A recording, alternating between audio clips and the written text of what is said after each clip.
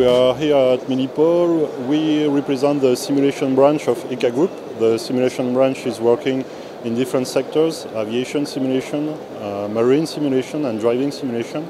Here we are showing a new training system for police and military. The training system is composed of uh, one light vehicle simulator and one truck simulator. The truck simulator has two seats that allows to train at the same time the driver and the commander. One of the scenarios we are presenting here at Milipol is an intervention on a riot and uh, during the way we have been blocked by a barricade. So we must uh, turn over, make a U-turn and uh, use a different path to, to go to the riot. At any time during the training, the trainer can interact with the simulation using either a tablet or a full instructor station. The tablet, for example, allows to change the scenario and trigger some events like a blockage or like a crossing pedestrian. We can also, in real time, adjust the parameters like time and weather, and also insert some malfunctions on the vehicles like a blowing tire.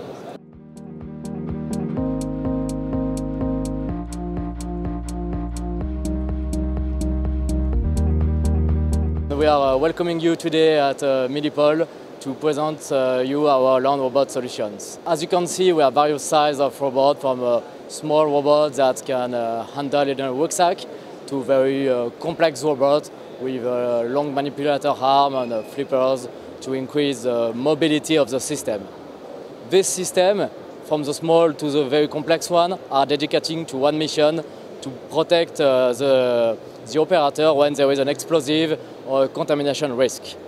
So we remotely control uh, the system and we deport uh, the intervention of um, the operator thanks to uh, CBRN sensors that are here to uh, analyze if there is a chemical or radiological risk, thanks to X-ray modules that we interface on the, the robot and that are here to uh, uh, inspect inside the potential threat, and thanks to water jet disruptors that are here to neutralize the potential threat. These systems are in uh, service uh, in uh, land forces, military land forces, and also in the police, in civil security units, in France and uh, worldwide, uh, in various countries such as uh, Canada, Indonesia, or Middle East.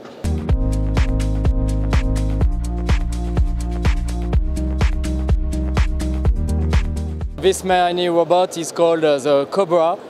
Uh, it's a small robot dedicated for reconnaissance missions thanks to uh, the cameras that are incrusted in the vehicle uh, chassis.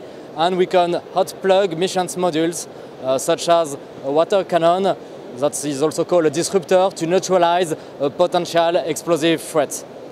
This land robot is in service in the French army and uh, has been nicknamed uh, Minirogen. Mini Rogène that stands for Mini Robot for the Engineering. He's, uh, he was in service in Afghanistan and is now used in Mali. This lightweight robot uh, is called the Cameleon. He's in service in uh, the army and also in the Paris police forces. It's dedicated to uh, counter IED missions. He can do the reconnaissance with the camera that are incrusted all around and with the manipulator arm he can extend the capabilities to recover a package or to inspect inside a vehicle for instance.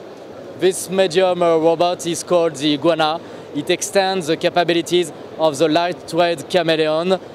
Thanks to the very long extension arm, uh, you can handle missions such as package recovery in the rack of an aircraft cabin. The very narrow brief of the systems also permits you to go inside planes, inside metro, inside trucks. So you can basically with this system handle the whole situation to cover against the explosive or the CBRN risk.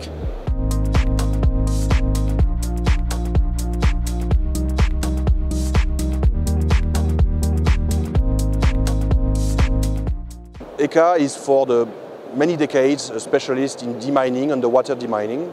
And uh, we are offering uh, robotic solutions all over the world. And we are now working actively on systems of robots, which will be dedicated to automate and uh, to uh, interact between uh, different drones, um, unmanned vehicles, surface vehicles, underwater vehicles, ROVs, to offer ro robotic solutions for the uh, coastal security, perimeter uh, security, uh, critical infrastructure protection and underwater demining.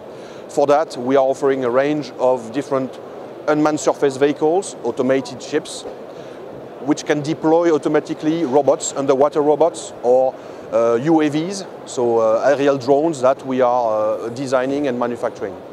These uh, naval robotic solutions are, um, have a specific name in ECA, they're called UMIS.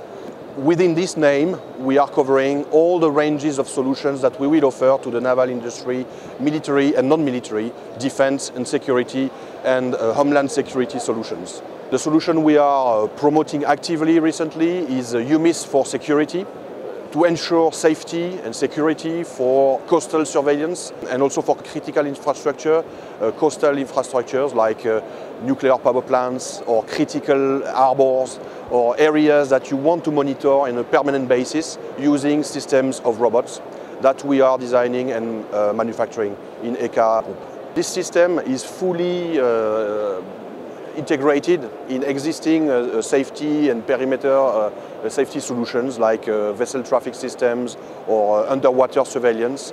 So these robotic solutions can be implemented in existing solutions already implemented in these critical infrastructures. They can be permanently installed on a specific site or they can be also containerized to be mobile solutions that could be uh, used for protection of specific events or specific area for a short period of time.